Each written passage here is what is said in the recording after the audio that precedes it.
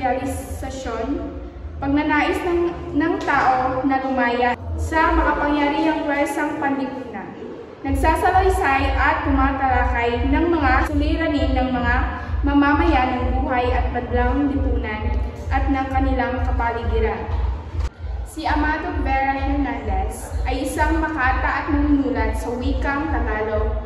Kilala rin siya bilang manunulat ng mga, ng mga manggagawa sapagkat isa siyang pinuno ng mga Pilipinong manggagawa at sa kaniyang mga pagpuna at pagsusuri sa mga kawalan ng katarungan na ganap sa Pilipinas. Noong kaniyang kapanahunan, siya ay punong tauhan ng isang bukod tanging kasong paghukuman at tumagal ng labing tatlong taon bago nagbukas. Mga mahalagang pangyayari sa lipunan sa panahon ng pagsulat ng nobela. Panahon ng ikatlong republika, panahon ng Hapones, pan kalagayan ng mga mamamayan sa pagdating ng industrialisasyon, pagnanais ng mga tao na lumaya sa mga pangyariang pwersang panlipunan. Ang mga mahalagang talasalitaan dapat maunawaan ng magbabasa. Una, hinayag, lumawig o hinubog. Pangalawa, nag-ibay, nagpatuloy o nagtaas. Pangatlo, ganid, sakim o makasarili. Pang-apat, suhay, tulong o suporta. Panglima, paghagis o pagtapo. Pang-anim, paglipol, pagsugpo, paglupig o pagtanggal. Pangpito, tubig na lumulon sa kayamanan. Pangwalo, kaibihan, marawal na kalagayan, pagbaba ng ranggo o pag-imbi. Pangsampo, ika na ila, pagtanggi, magtakwil o itakwil. At panghuli, nag-uudyo o nangungumbinsi. Long bahagi ng pagsusuri ng mahalagang tauhan. Mando Plaridel, ang kaniyang mga ginawa. Siya ay nakahanap sa kayamanan ni Simeon na itinapon ni Padre Florentino sa karagatang Pasipiko sa tulong ni Tata. Ng kanyang kilos o ginawa, isa siyang lumaban sa mga Hapon. Naka-impluensya siya ni Tata Matias sa paghahanap ng kayamanan ni Simeon sa karagatan. Dolores Montero, ang kanyang mga ginawa. Siya ang tugtong na anak ng pamilya Montero na naging karelasyon ni Coronel Moto noong panahon ng Hapon at nabuntis ni Teniente Whitey sa panahon ng liberasyon. Ang dahilan ng kanyang kilos o ginawa. Dahilan ng kanyang kilos o ginawa, nagpalaglag ng anak niya sa Amerikanong sundalo na iniwan siya. Magat, ang kanyang mga ginawa. Isang leader sa kalayaan na namumuno sa mga isang disiplinadong pangkatang guerrillero pagkat hawak niya ang gobyerno noon.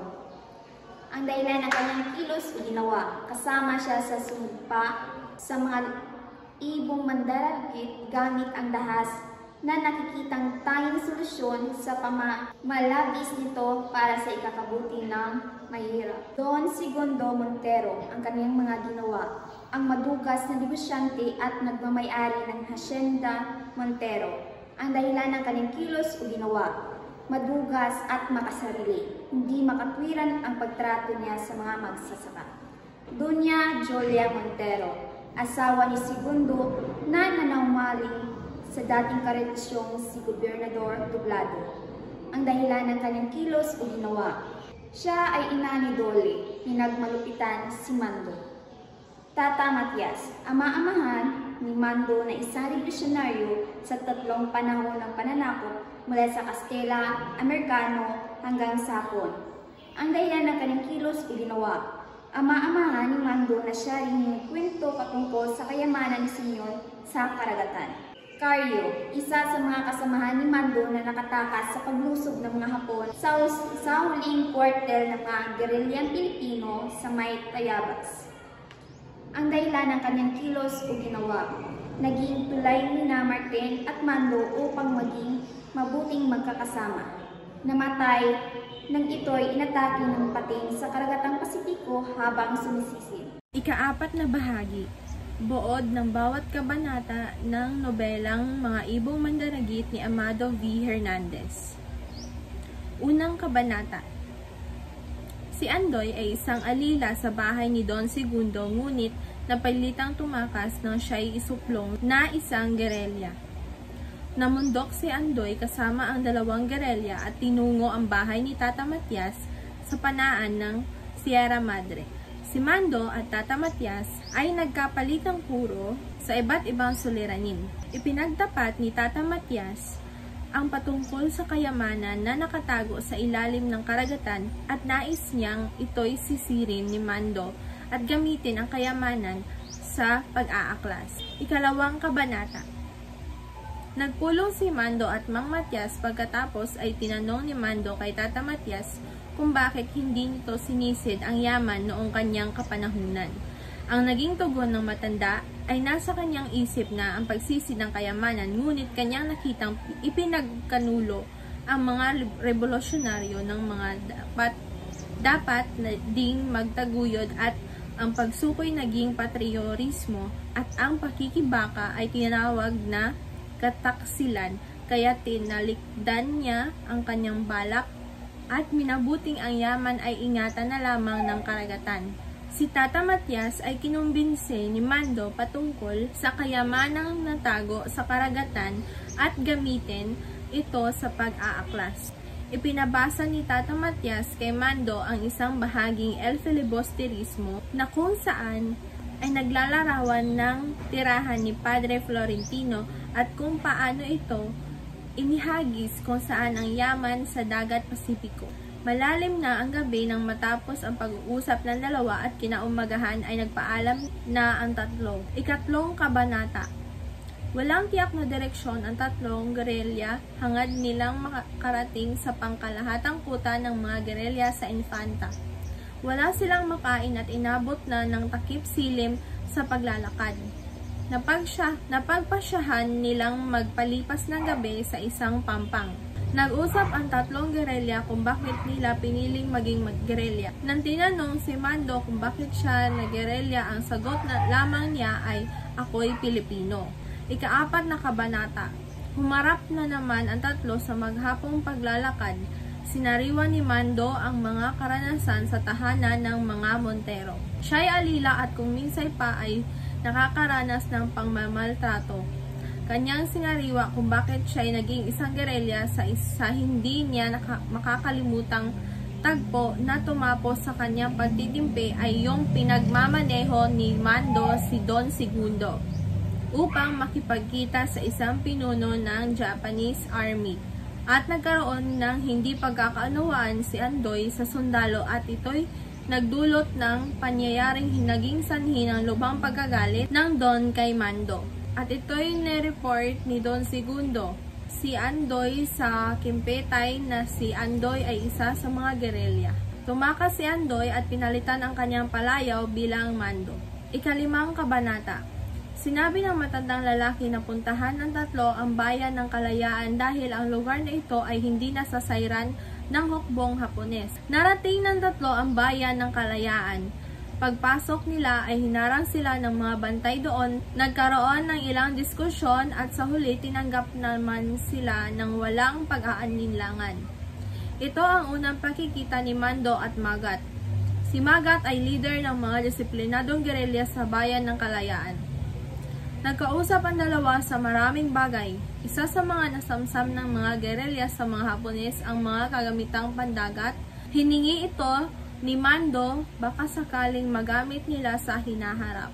Ibinasya ni Mando na huwag nang bumalik sa kapatagan bagkos ay bumalik sila sa kanilang pinagbuhatan. Ika-anim na kabanata Sa kabanatang ito, ang Maynila ay mukhang Simana Santa, ngunit ito ay Kapaskuhan.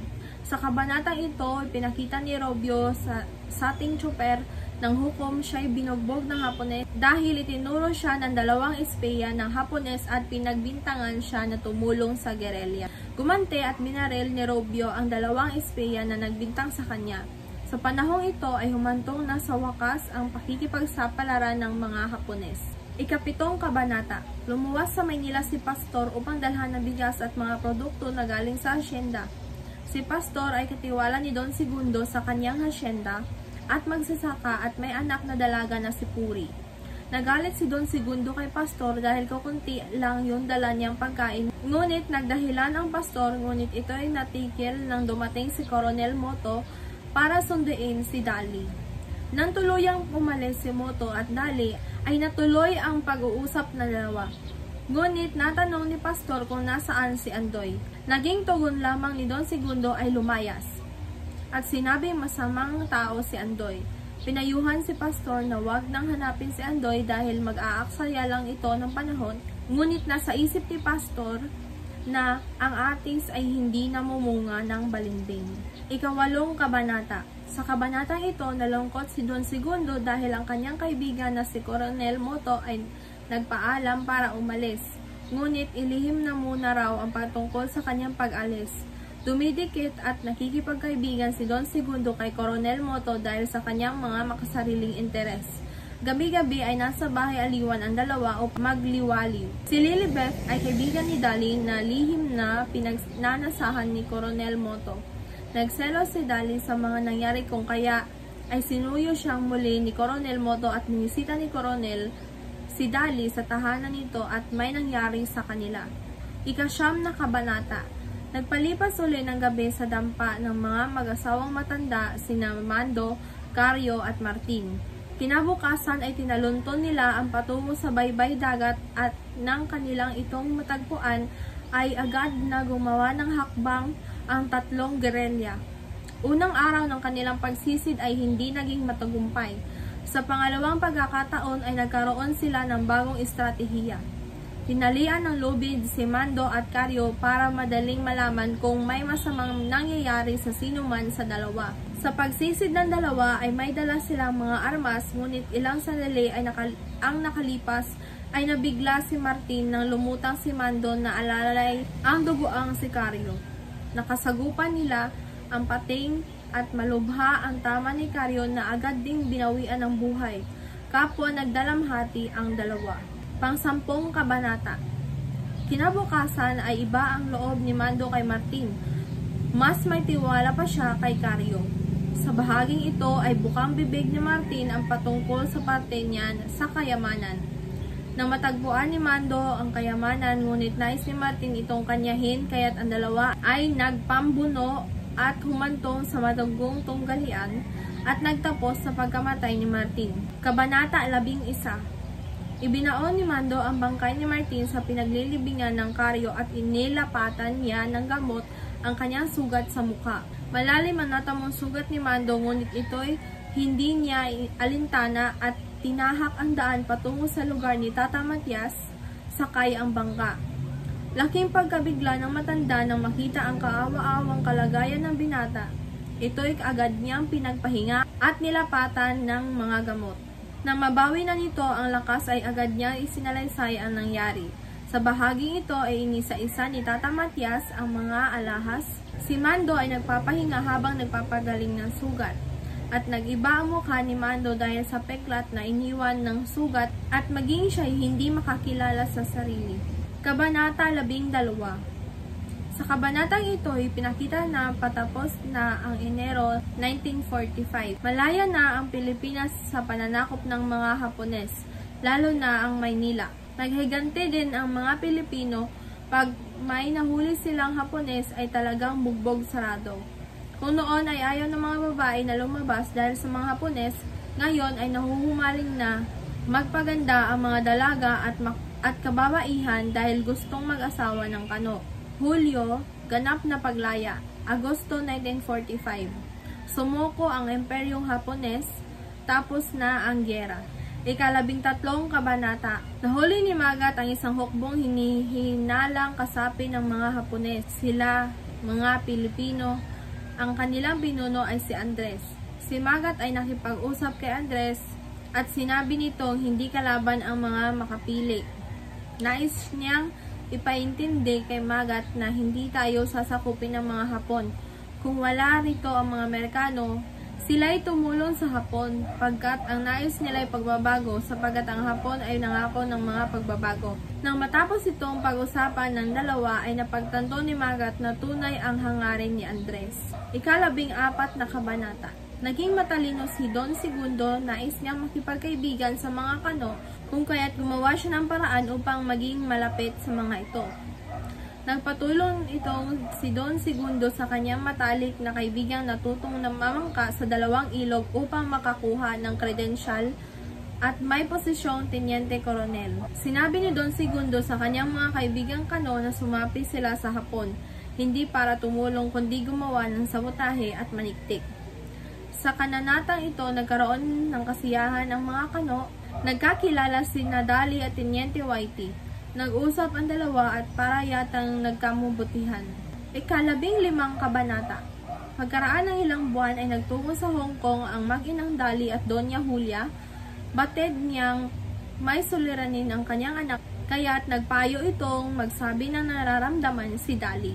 Naintindihan ng ina ang nararamdaman ng anak dahil naranasan din niya ng misan ang mapariwara. Sinabi rin niya sa anak na hindi lang si Whitey ang lalaki sa mundo. Napagpasyahang maglakbay ng mag-ina upang ipalaglag ang nasa sinapupunan ni Dali matapos ang operasyon ay parang walang nabawas sa kanyang kagandahan. Wala pa ang isang linggo na numbalik na ang dati nitong lakas. Ikalabing anim na kabanata. Nagdiwang ang lahat sa tinamong paglaya, liberasyon at napatulad sa isang maingay na pistang bayan. Hindi nagbadwa ang laseng sa mga bar at nalansangan. Nanumbalik ang kapayapaan sapagkat natigil ang ingay ng kanyon at barel.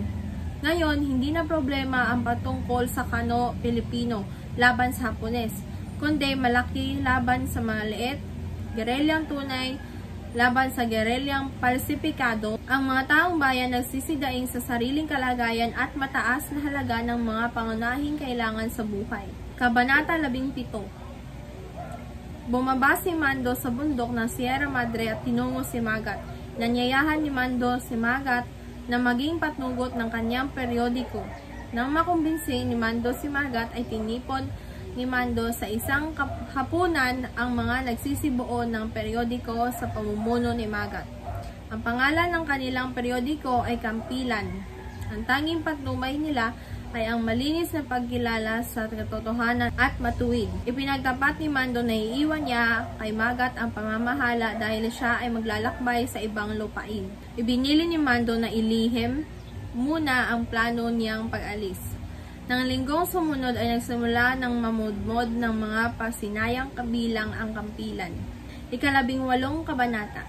Ang kabanatang ito ay tumatalakay sa kalagayan ng mga bukirin sa harap ng lumulubhang di kasiyahan ng mga magsasaka.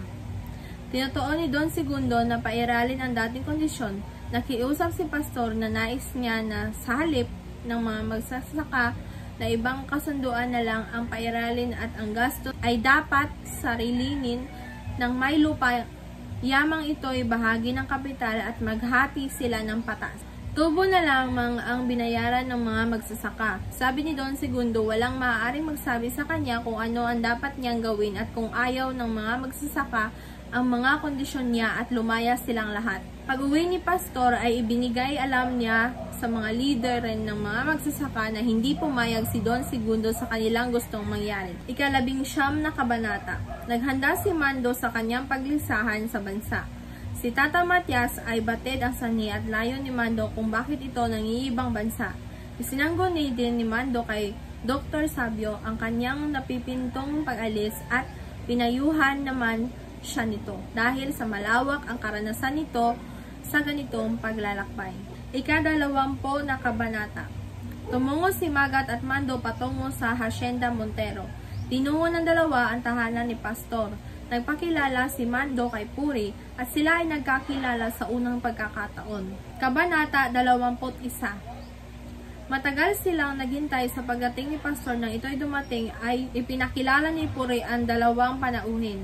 Nais nilang kunin ang panig ng mga magsasaka tungkol sa pang-aagrabyado ng may-ari ng lupa. Sa kalagitnaan ng diskusyon ay nabanggit ni Pastor ang nawawalang pamangkin nitong si Andoy na ayon sa kanyang balita ay sumama sa mga gerilya. Ipinatanong niya kung baka kilala ni, na, ni Mando at Magat. Sumagot din naman si Mando nakilala niya si Andoy na mas kilala sa tawag na Andy. Sabi rin ni Mando na may iniwang maliit na kahon si Andoy para kay Pastor at Puri.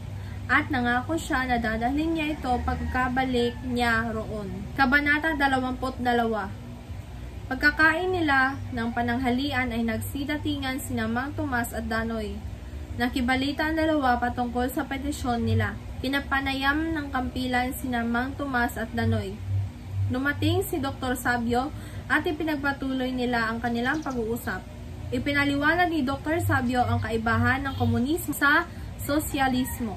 Ayon sa kanya, ang komunismo ay revolusyonaryo at ang sosyalismo ay evolusyonaryo. Pagkaraan ng ilang salitaan ay nagpaalam na ang taga Maynila. Nangako si Mando na babalik siya sa madaling panahon upang ipagkaloob ang kahong iniwan ni Andoy sa kanila. Kabanata 23 Bumalik sa Hacienda Montero si Mando upang tuparin ang kanyang pangako. Dala ang kahon na iniwan ni Andy nang ito'y buksan doon ay may isang liham at sa isang balutan ay nakabalot ang isang kwarta Binilang ni Pastor ang pera at nalaglag sa pagitan ng mga salaping papel ang isang maliit na bagay. Ito ay isang singsing para kay Puri. Nag-usap si Puri at si Mando nang may dumating na panauhin si Pastor. Kabanata 24 Naglakbay si Mando sa labas ng Pilipinas. Iilan lamang ang nakakaalam ng kanyang pag-alis. Dala niya ang malaking bahagi ng hiyas ni Simon at ang iba ay nakatiwala kay Tata Matias. Kabanata 25 Ang kagandahan ni Dali Montero ay nanumbalik nang ito ay nagtuloy sa Europa para mag-aral. Sa bahaging ito ay sinalaysay ang simula ng pagyaman ni Sontua.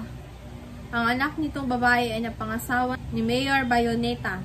Si Don Segundo ay nais na ipaayos ang bahay upang ito ay magkaroon ng ikatlong palapag. Si Engineer Pong Tuason anak ni Sontua, ang magiging arkitekto nito. Kabanata 26 Sa bahagi ito ng nobela ay nagkasundo sina Obispo Dimas, Juez Pilato, General Bayoneta, at Don Segundo Montero na maglaro ng poker sa bahay ni Gobernador Oscar Doblado. Naglustay sila ng impera imbis na itulong sa mahihirap. Ang asawa naman ni Oski na si Doña Ninay ay isang mayaman na nakaratay sa sakit. Kabanata 27 Naglaro sila ng poker. Nagkasabuatan sa mga pagpaplanong magpayaman pa ang magkakaibigan. Si Obispo Dimas ang nanalo sa laro nila. Kabanata 28 Nagmerenda ang mga naglalaro ng poker. Napag-usapan nila ang patungkol sa peace and order. Nang biglang dumating si Dr. Sabio, nais bilhin ng Freedom University ang Hacienda Montero upang hindi na mahirapan ang mga magsasaka sa kamay ng Don. Ngunit hindi pumayag si Don Segundo at nagmatigas. Kabanata 20 Abala ang kampilan sa pagkalap ng mga balita nang may tumawag sa telepono ang isang Madam XX. Nagbanta na kapag binanggit ang pangalan ng kanyang kliyente ay ididimanda ang kampilan. Ngunit hindi nagpatinag si Andres bagkos tahasan kanyang sinabing Ibabalita namin ang pagtawag ninyo sa telepono at ang banta ninyong isasakdal kami sa isang kaso. Nabanggit din sa kabanatang ito ang patungkol sa Pilipinong isinakdal ang isang Amerikanong nasa mataas na posisyon dahil sa kasamaan ito. Ang pangalan ng pahayagan ay El Renacimiento. Nasawi ang Pilipinong iyon, ngunit ang katotohanan ng kanyang isiniwalat ay habang buhay na mananatili sa diwa ng lahat. Binanggit din dito ang isang editorial na may pamagat na Mga Ibong Mandaragit. Tinalakay sa editorial na ito ang dalawang uri ng nilalang sa mundo. Una ay ang kumakain at lumalaklak. Pangalawa naman ay ang kinakain at nilululon. Ang mga tauhan sa nasabing editorial ay mga hayop gaya ng agila, buwetre, kuwago, malaking bayawak, vampira, sumisipsip ng dugo na pawang may sembolismo. Ikatatlumpong kabanata. Nang dumating si Mando sa Paris ay agad siyang kumuha ng kambal na silin sa Hotel Ritz. Sa harap ng kanyang Hotel Ritz ay abot tanaw ang Eiffel Tower. Ipinasyal ni Mando ang kanyang sarili sa Paris at isinulat ang bawat nangyari sa kanyang paglalakbay. Kabanata 31 Si Mando ay tinuon ang kanyang atensyon sa pagsulat sa kanyang tala-arawan. Marami na siyang napuntahang mga bansa at marami na rin siyang natutunan sa iba't ibang bansang kanyang napuntahan. Di na rin maliit ang kaunlaran ng kanyang utak. Nagbago na rin ang kanyang anyo, gayak at. Sa kabila ng kagandaang naranasan, hindi pinagliban ang tunay na layo ng kanyang paglalakbay. Kabanata 32 sa kabanatang ito ay nakatagpo si Mando ng mga Pilipinong piniling manirahan sa ibang bayan at ayaw nang bumalik sa Pilipinas. Pagdating niya sa London, nakilala siya ng isang manunulat na Ingles. Tinanong niya ito kung bakit ang mahal ng sigarilyong Amerikano sa London at ang tugon nito upang mapangalagaan ng kanilang sariling produkto. Kabanata 33 Kinamugahan sa Hotel Ritz at tumawag si Helen, Espanyol Irlandes Pilipina, kay Mando. Si Helen ay nakilala niya dahil sa negosyo at ang nagbebenta ng mga hiyas sa mabuting halaga. Marami na silang napagbentahan sa tulong ni Helen. Ang dalawa ay nag-aliw sa isang club. Ang huling club, ngunit sa kanilang paglabas ay napansin ni Mando ang isang babaeng namumukhaan niya Nakita niya si Dali Montero. Kabanata 34 Nagpasya si Mando na bumalik sa Baltabarin at pagmasdan ang magandang si Dali. Ito'y napansin niya may kausap na kanon na nagpupumilit kay Dali na lumabas sila at mag-aliw saan man nila gustuhin. Ngunit ayaw ni Dali.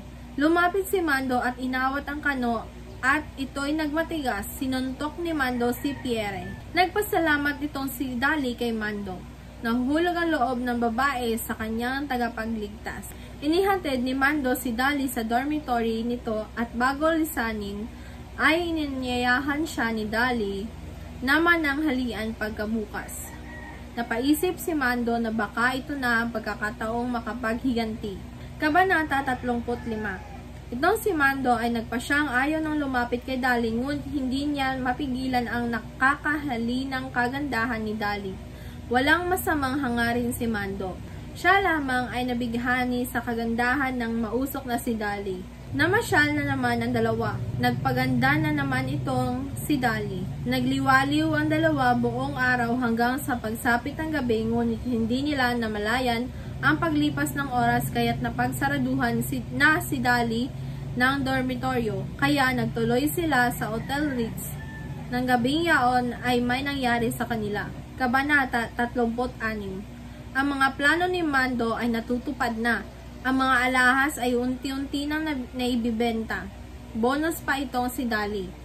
Hindi matiyak ni Mando kung ito bang si Dali ay tunay na umiibig sa kanya.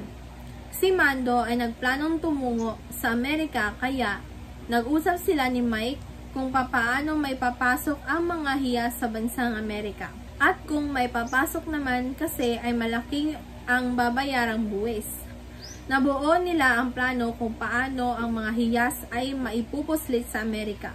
Kabanata 37 Ang kabanatang ito ay puno ng suyuan, pagtatalik ng nagkakamabutihang sina Mando at Dali. Nagpaalam si Mando na siyang tutungo sa Amerika at minungkahin niyang hintayin na lang siya hanggang sa siya'y makabalik. Ngunit ipinasya ni Dali na uuwi na lamang siya sa Pilipinas sapagkat matatapos na rin ang kanyang pag-aaral at ang huling gabing kanilang soyuan. Kabanata 38 Nang marating nila Mando ang Amerika ay nabihag siya ng, sa bansang ito. Walang bagay na hindi mabibili sa Amerika at walang hindi kayang bilhin ng Amerika.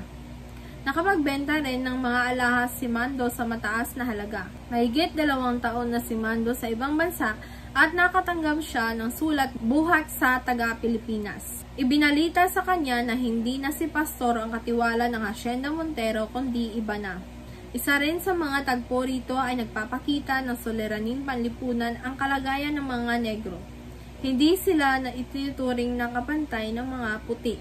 Kabanata 39 Si Mando ay nagpadala ng isang liham sa Pilipinas upang ibalita ang kanyang nalalabaying pagbalik sa bansa. Ikaapat na pong kabanata. Ang mansyon ng mga Montero ay tapos nang ipagawa at ang pamilya ay naghanda sa isang kasiyahan upang bigyang pugay ang kanilang bahay gayon din ang pagbabalik ni Dali. Sa piging ay dumalo ang iba't ibang matataas na opisyalis ng pamahalaan, suot ang magagarang damit at mga alahas. Napag-usapan ng mga bisita ni Don Segundo ang kampilan. Dahil sa wala tong takot na isinisiwalat ang totoo na sila silang nag-uusap ang nasasagasaan. Kabanata 41 Dumalo sa kasiyahan si Mando at siya'y nasiyahan sapagkat walang nakakilala sa kanya. Inimbitahan ng Don na sumabay si Mando sa kanila ng presidente sa pangangapi, ngunit pinagtulungan lamang nila si Mando tungkol sa kanyang mga pinatatamaan sa kanyang periodiko.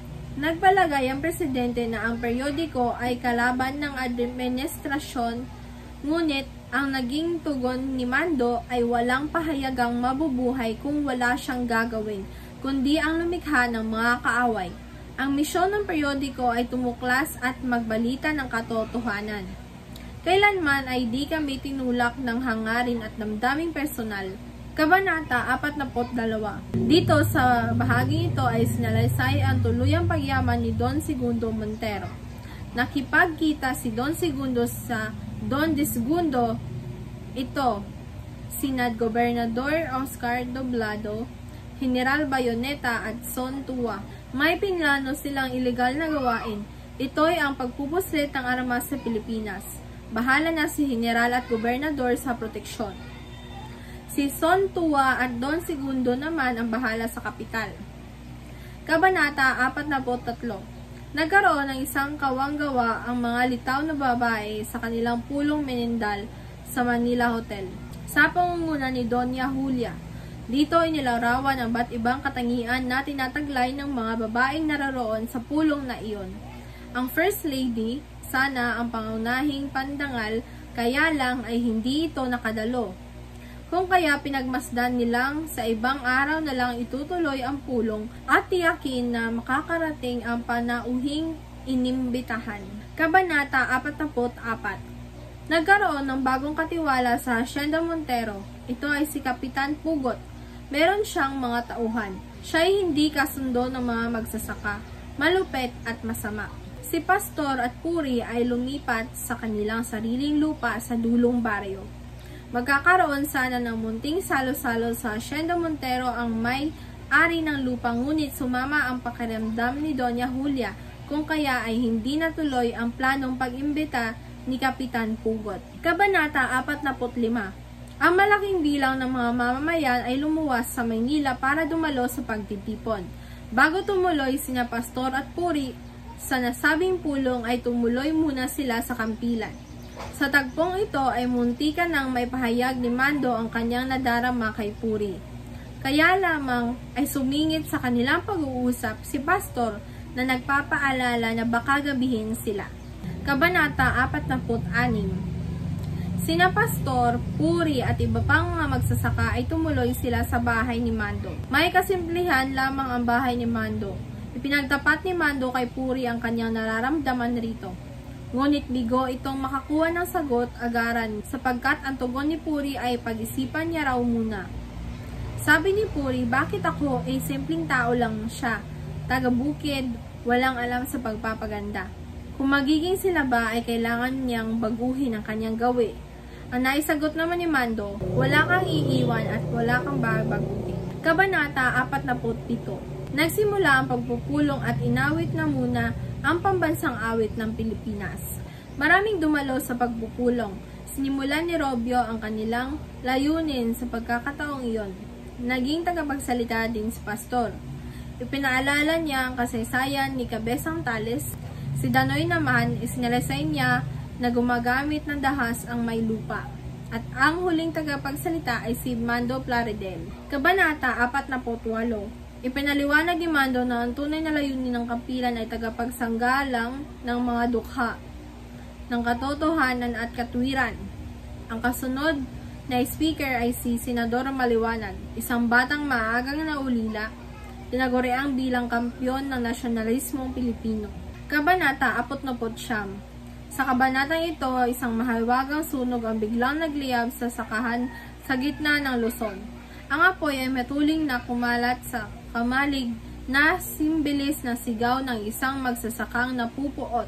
Wala masyadong tao sa Hacienda Montero dahil dumalo sa pulong sa Maynila. Wala rin raw si Kapitan Pugot sa oras ding yun. Sinisi ni Kapitan Pugot na ang mga magsasaka ang may pakana sa sunog. Kaya nagutos siyang halughugin at puntahan ang mga bahay ng mga magsasaka. Ang lahat ng mga sasakyang pabalik sa asyenda ay kinapkapan. Nagtanong si pastor kung bakit nila ginagawa yon. Ayon sa sinabi ni Kapitan Pugot na sila ang may pakana ng sunog sa Hacienda Montero, ipinipilit ni na pastor na ang mga tanalagpuang bagay sa kanilang mga bahay ay sa kanila. Sa huli, kinulong ang mga magsasaka. Ikalimampung kabanata Tumungo si Dali sa kampilan upang puntahan si Mando at yayain na lumabas ngunit mga ilang minuto ay dumating si Puri. Isinalaysay ni Puri ang nangyari. Namumutla ang pisingi. Hindi rin nakapanghaliling damit kahapon. Dungisan ang mga paa at kamay. Inusisa ni Mando at magat si Puri sa sunog. Dahil sa inip ni Dali ay nilapitan niya si Mando at tinanong kung hindi pa ba aalis. Ngunit tugon ni Mando ay hindi siya makakasama sapagkat may aasikasuhin siyang importante. Napansin ni Dali na ang babaeng panauhin ang dahilan. Nilapitan niya ito at tinitigan ng maigi. Nagselos itong si Dali at sinabi ni Mando na pinsan niya ang babaeng pinagseselosan nito. Kabanata 51 Kinilatis ni Dali ang katauhan ni Puri at di may pagkakailang ito'y may itinatagong ganda, ngunit naisip niya rin na wala sa tinatawag na class itong si Puri. At ito'y makikita sa paraan ng pananamit. Iniisip ni Dali na kung makikilala niya si Puri ng lubusan ay mapapalapit siya ng husto kay Mando. Kinausap ni Dali si Puri hanggang sa nagkainitan ang kanilang pag-uusap. Nagkasukatan ang dalawa at umuwing talunan si Dali.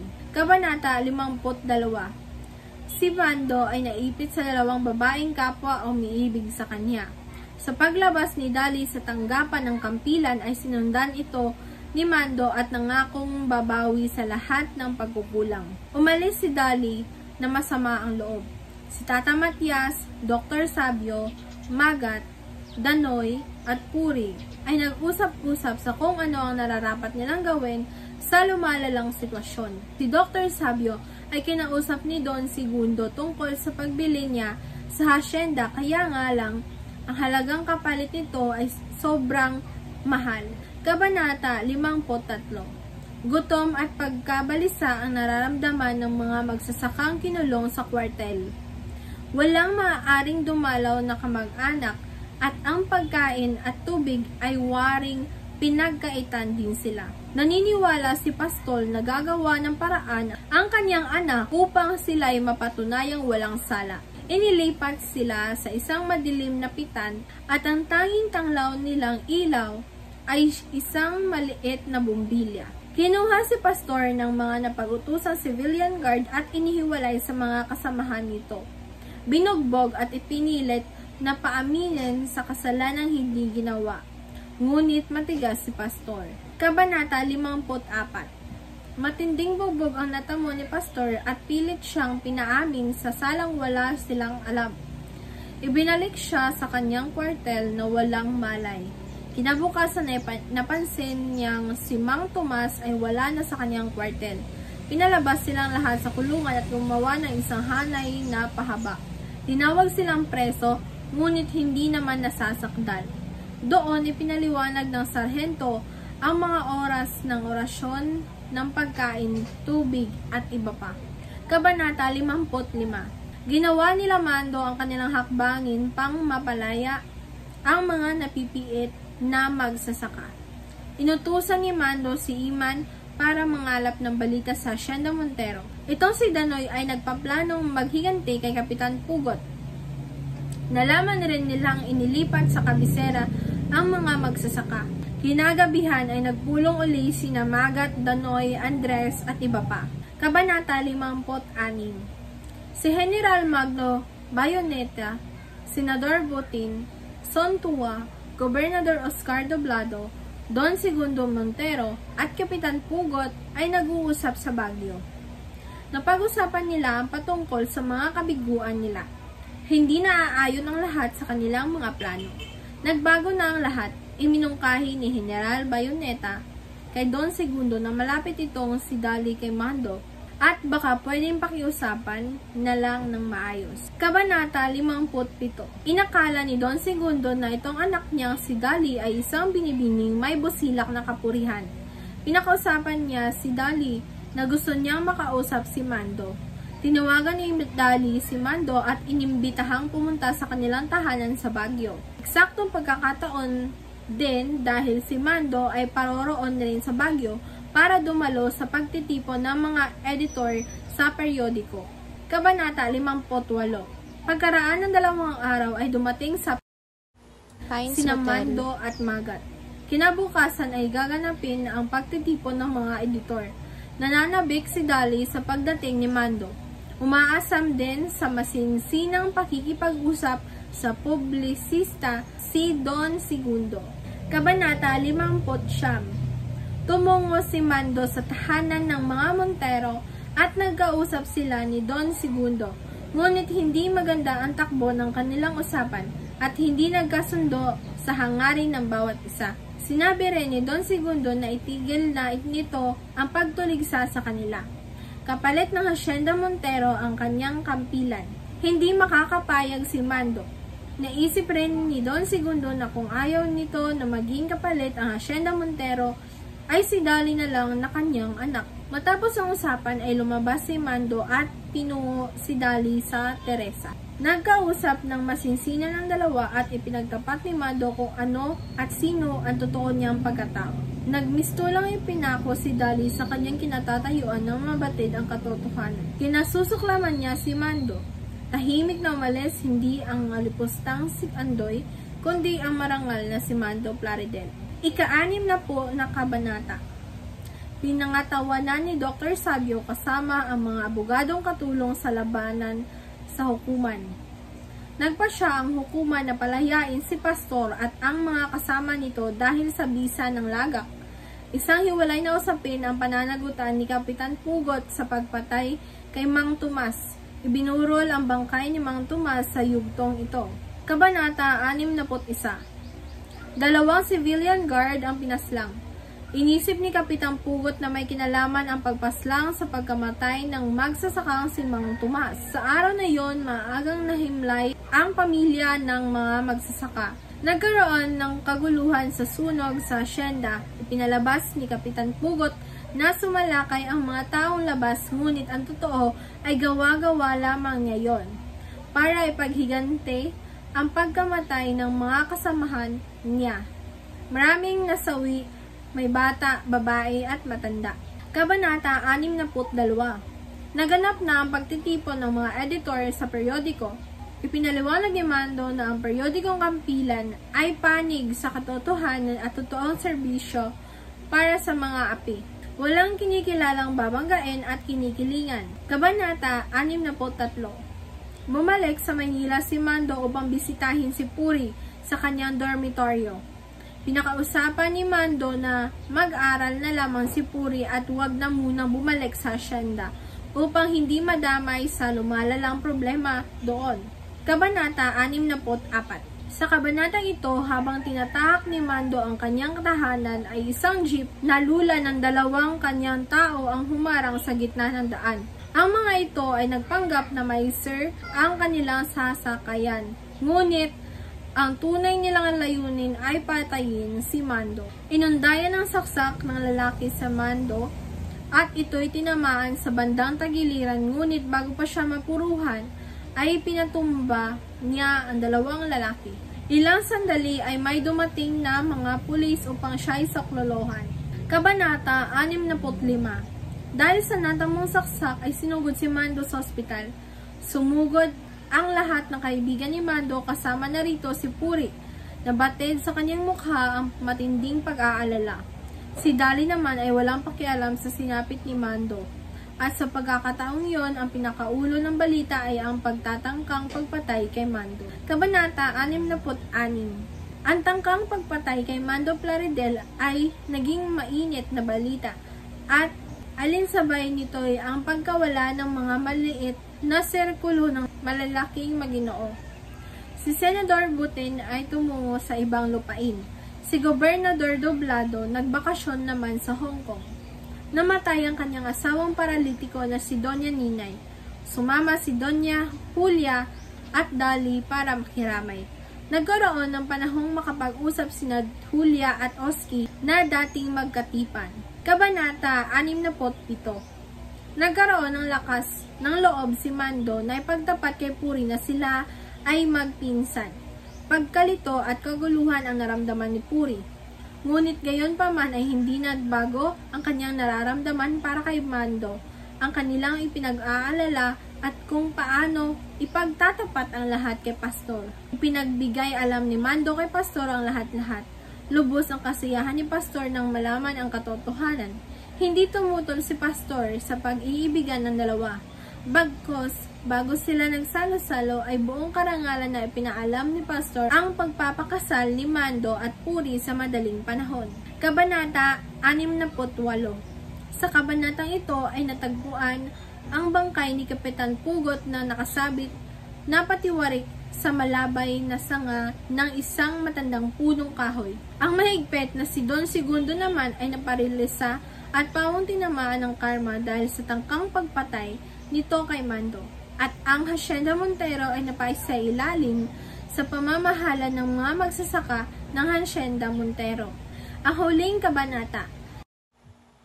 Ika-anim na putsa Ilang araw ang lumipas, nakatanggap ng telegram si Mando mula sa presidente. Sila inimbitahan nito. Pumunta si Mando kasama ang kanyang kasamahan sa kampilan at nakiusap ang presidente na patigilin ni Mando ang mga magsasakang nag-aaklas laban sa kanila. Ngunit hindi ito pinakinggan ni Mando at nagkasagutan ang dalawang panig. Nagbanta ang presidente ngunit hindi nagpatinag ang pangkat ni Mando. Nanindigan silang hindi nila isusuko ang kanilang pakikipaglaban. Dumanak ang dugo ng salakayin ng pwersa ng militar ang magsasaka sa gitnang Luzon. Maraming ma- nagbuwis ng buhay. Kasama na dito si Pastor. Sa isang lihim na pook sa labas ng lungsod, inumaga sa pagpapanayam sina Mando, Magat, Robio at Danon. Ang mga huling kataga ni Mando ay ibubuhos natin ang buong kakayahan at gagawin ang lahat ng magagawa upang ang ating bansa ay maging tunay na malaya at nagsasarili at ang mga mamamayang Pilipino'y siyang maging tahas na Panginoon sa kanilang lupain. Makatarungang demokrasya, pagkakapantay-pantay sa batas at pagkakataon sa buhay. Ito ang ating panata at hantungan, pasakdalang tayo'y magbuwis ng ating buhay. Ikalimang bahagi ng pagsusuri ng kadisaan ng nobela sa mambabasa. Bisa sa isip. Maisa sa isip ng mga mambabasa ang kalayaan ng mga Pilipino bago pa man sila ipanganak. Ang mga Pilipino noon ay di lubusang malaya sa kabila ng pagtatakbos ng pananakop ng mga dayuhan. Bisa sa damdamin. Ang mga kaganapan sa kwento ay isa sa mga nagpaigting ng damdamin ng kahit sino man sa na huwag agad na maniwala sa mga taong nasa iyong pali- kapaligiran. Bisa sa kaasalan. Matutong tumayo sa kanyang paa upang makipagtalastasan at makipaglaban hindi lang sa mga sarili, ngunit higit sa napakarami. Panganim na bahagi, ito ay ang pagsusuri ng tema ng nobela. Ang tema ng nobela ay sumusimbolo sa hindi pagkakapantay-pantay ng tingin ng mga tao sa lipunan. Sa libro makikita ang diskriminasyon sa kulay, ginagamit ito basihan kung ano ang katunayan ng isang tao. Kung maputi ka, mataas at magalang ka, ngunit kung ikaw ay maitim, kahit anong gawin mo, mababa pa rin. Ang magiging pagkilala at pagtingin sa iyo ng mga tao. Pangpito ng bahagi, ito ay ang pagsusuri ng layunin sa may akda. Una, ano kaya ang layunin ng may akda para sa kanyang sarili? Mga detalye, mga detalye ng pagpapatunay. Ang layunin ng may akda para sa kanyang sarili ay upang ibahagi ang kanyang kalaman sa iba at mabigyang gabay at aral sa paraan ng paglimbag ng isang nobela. Pangalawa, ano kaya ang layunin ng mga may akda para sa kanyang mambabasa? Mga detalye, mga detalye sa pagpapatunay. Ang layunin ng may akda ay upang may pakita ng mga mambabasa ang kaganapan sa ating kapaligiran, ang pagtrato natin sa ating kapwa. Pangatlo, ano kaya ang layunin ng may akda para sa lipunan at sa pangkalahatan? Mga, detal, mga detalye ng pagpapatunay. Ang layunin ng may akda para sa lipunan at pangkalatan, kang, pangkalahatan na walang magandang maidulot ang pangutya at pagpuno ng isang tao. Mas mabuti pa rin manahimik at ayusin ang sariling buhay kaysa sa mamialam sa buhay ng iba. Pangwalang bahagi ang paggamit ng mga teoryang pampanitikan. Teoryang realismo ang ginamit sapagkat ito ay nakabase sa ating realidad at tunay na pamumuhay. Nagaganap ang mga ganitong sitwasyon sa ating kapaligiran at hindi ito naiiwasan. May mga taong sakim sa kapangyarihan at mga taong mahilig mangialam o manira ng kapwa. Kahit na ito ay masama, ay umiiral pa rin sa ating kapaligiran na dapat nating iwasan. Pangsyam na bahagi, ang pansariling reaksyon. Ang nobela na ito ay tungkol sa mga masasamang pamamalakad at politika. Gaya ni Mando, lahat ng tao ay nais ang maayos na bansa at pamamalakad. Natutunan ko din na ang pagiging sakim ay walang maidudulot na maganda sa atin. Halimbawa nito ay si Martin, na kaya namatay ay gusto niyang suluhin ang kayamanan. Dapat ay mas bigyan natin halaga ang ating sarili at maging mabuti sa kapwa dahil hindi natin alam kung kailan magwawakas ang ating buhay. Matuto tayong magbahagi ng ating kalaman at kung ano pa man ang meron tayo. Hindi maging gahaman sa kayamanan at pumutya ng ibang tao.